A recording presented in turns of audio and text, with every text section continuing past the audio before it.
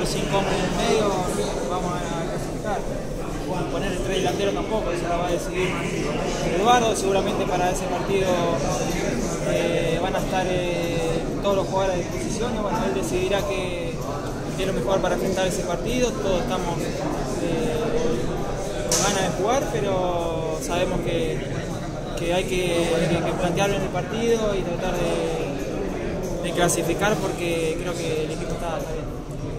Bueno, teníamos ese antecedente de, ellos contra la Lanús y prácticamente se tornó muy parecido. Lanús Hoy vimos un video a la mañana, erró 9 o 10 situaciones de gol. Nosotros no sé si tantas, pero fuimos claramente superiores. Eh, tal vez apurado en algunos momentos por llegar al arco.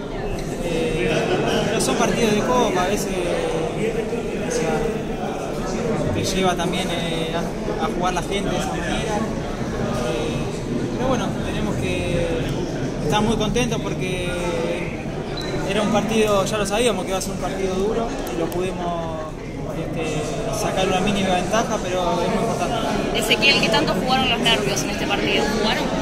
No, los nervios no, creo que ya somos, eh, nosotros los jugadores ya estamos acostumbrados a jugar con, mucha gente y, en el torneo argentino se vive, es distinto porque es Copa, pero la gente de acá en todos los partidos empuja, quiere ganar, entonces por momentos tenemos que tratar de manejar la pelota.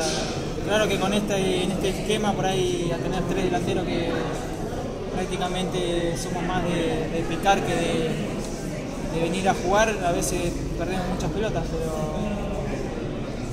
lo importante es ganar y, viajar a Uruguay con esa, aunque sea mínima ventaja, es muy importante. ¿Qué tanto se extrañó a Patricio Toranzo?